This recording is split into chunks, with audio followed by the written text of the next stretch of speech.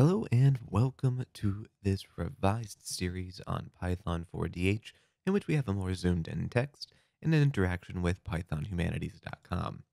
In this video, we're going to be talking about really kind of the first step towards practical Python for DH.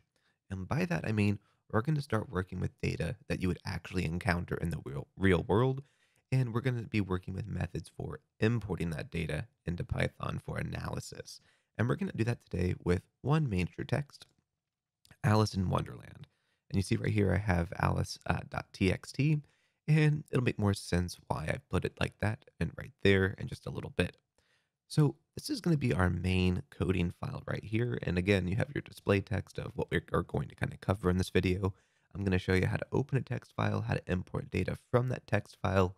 I'm going to show you good practices for formatting your code while doing this.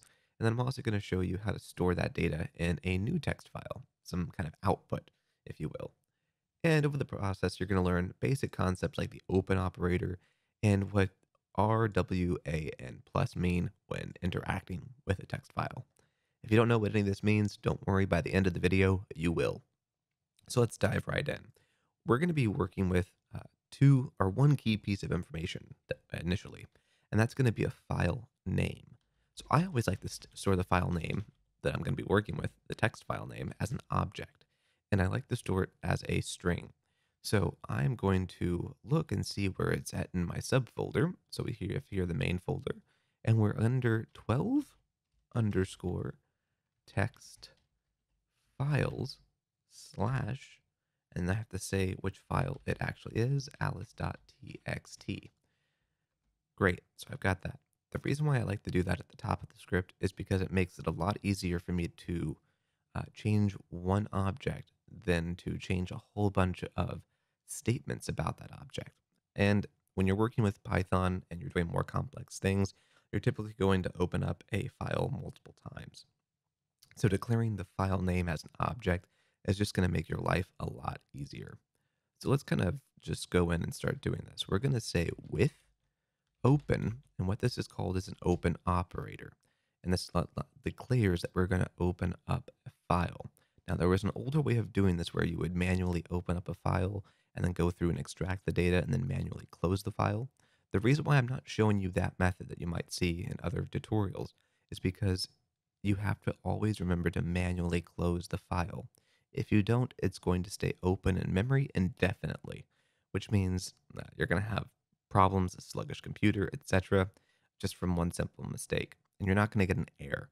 With the with open operator, you're never going to have to worry about that again uh, because it's automatically going to close the file once you stop using the with operator.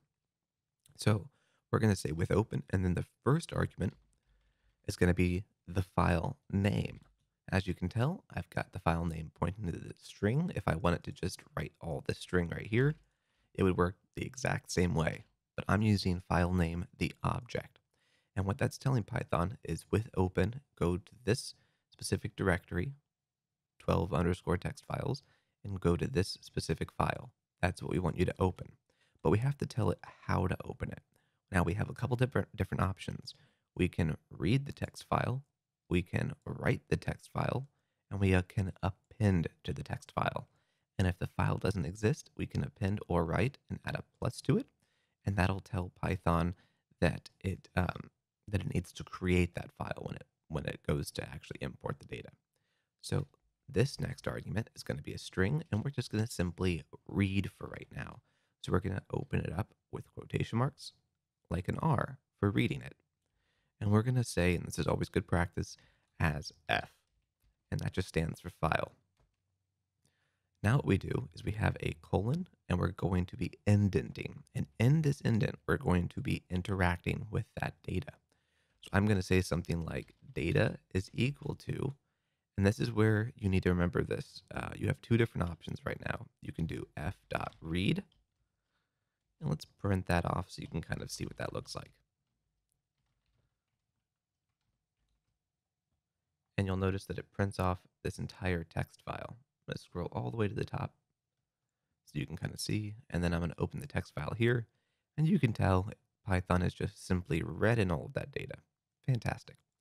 The other option that we have is we can do f dot read. Let's do a new one down here. Data equals f dot read lines. We're going to comment this out. And what this is going to do is it's going to read all the lines as individual objects. And so we can print data, and you're going to see a long list separated out by line breaks. So that's how you get your data from a text file into two different forms, either as a continuous string or as a series of line breaks in a list. I'm going to add these concepts over here so you can constantly go back f dot read and I'm going to do 8 because I can't count. Fantastic. f dot read lines. It's a good little cheat sheet for you.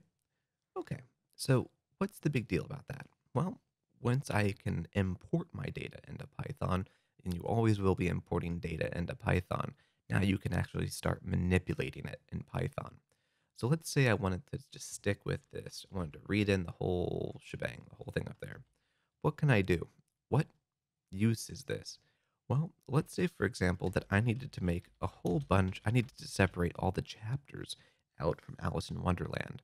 You already have the tools to solve this real world problem. You just have to think about what we talked about in video three on strings. So, how would you solve it? Pause the video and try to figure out how you might solve the problem by looking at where is it at this text file and thinking how you might solve this problem of separating this text by chapters. To scroll down to the next chapter, and there you can see this is how chapters are always formatted. Okay, so here's how you're going to do it. So you are going to realize that every single time a new chapter is declared, this is again a human spotting patterns now, you notice that the word chapter is always used in capital letters. So what we're going to do is data.split we're going to split it right at chapters. And now, when I print off chapters, you'll see I have a list all drawn up. So now what I can do, get rid of that. So that's not confusing. Run it one more time just so you can see it. Now I know that starting at the second index of my list, I've got chapter one. So if I were to try to call, sorry, that first index, that first index, we can see it printed off as a continuous string. And this is the fun part. This is how you know that it's going to work.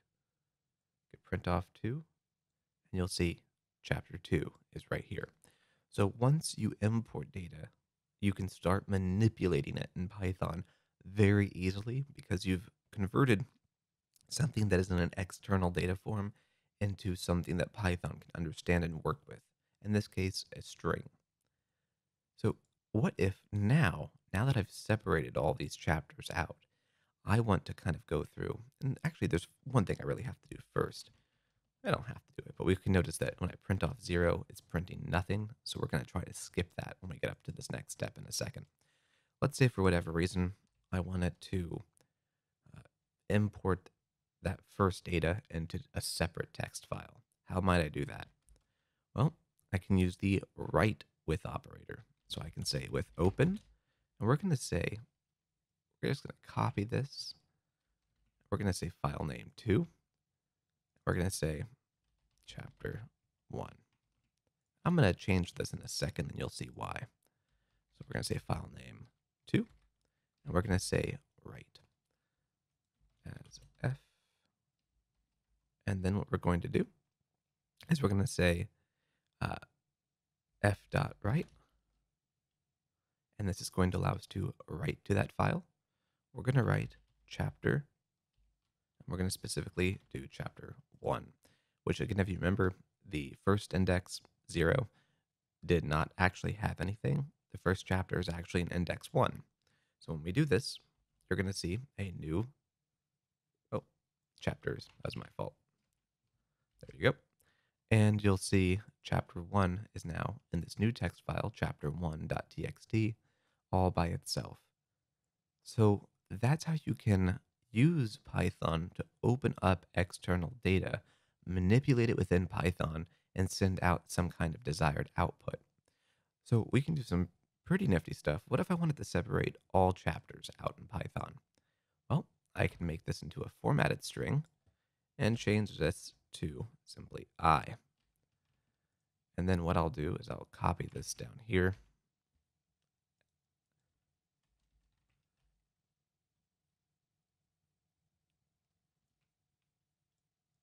And I'm going to make i equal to uh, 0. Yeah, start at 1. And we're going to say for i in chapters, we're going to say 1 to the end. And we're going to say that we want to do this.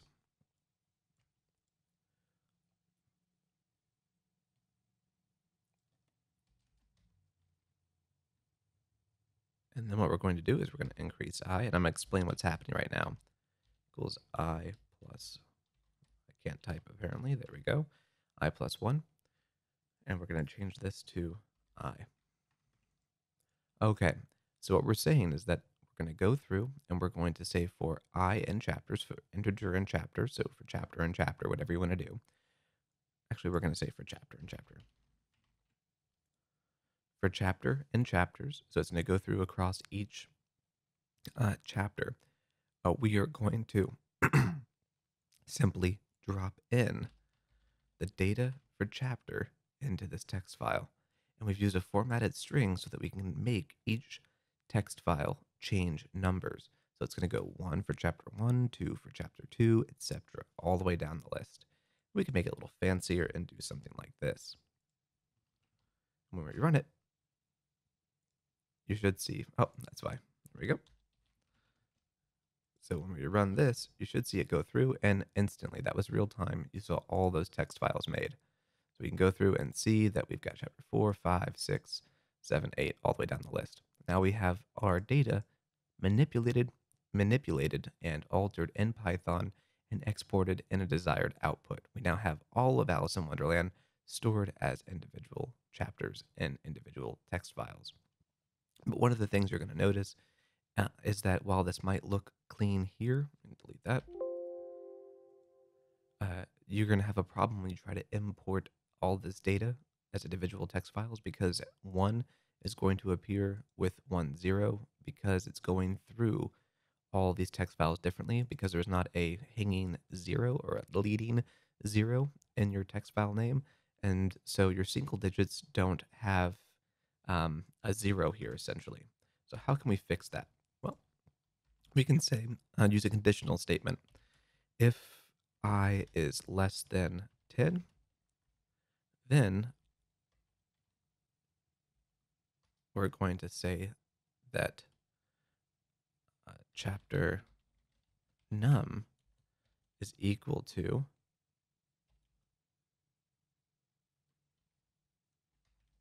we're going to say 0. I'm going to do a formatted string. that, and we're going to say 0 i. We're going to replace this with chapter num, and we're going to say else chapter num is equal to going to say i. So what this is going to do is it's going to add a zero in for us. So I'm going to go ahead and just delete all of these text files. Wonderful, go away, fantastic. And now when we go through, you'll see over here uh, that we have 0, 1, 0, 2, 0, 3, all the way down until 9, and then we have 1, 0, 1, 1, and 1, 2. So that's a fun little trick, very simple conditional for how you can add a hanging zero or a leading zero to your file names. That's going to be it for this video. Uh, I want you to spend time with this. Play with it, get used to writing with open very quickly, get used to reading this common data structure, a common way of formatting your code. You are going to be opening external data for the rest of the course. So get very comfortable with the with open operator. And the reason why you need to get comfortable with it is because you are going to be never you're never going to use data in a Python script. You're always going to be importing external data. And if you go over to pythonhumanities.com, you'll find a really useful exercise to kind of work with. And it's going to be underneath part four, working with data, lesson 12. And again, you'll be able to watch the video. But importantly, this one's a little different. I have the ability for you to uh, open and import and work with external text file so that you can actually kind of engage with Python in a little bit more in depth level by calling a, a text file. So go ahead, have fun with that, and get comfortable with that with open operator. And then join me in the next video when we start talking about uh, really kind of the introduction to key modules in Python. So these are things that you import so that you don't have to write a whole bunch of unnecessary code. That's going to be it for this video, though. Thank you for listening, and please like and subscribe down below. Thank you for watching this video. If you've enjoyed it, please like and subscribe down below and visit us at pythonhumanities.com.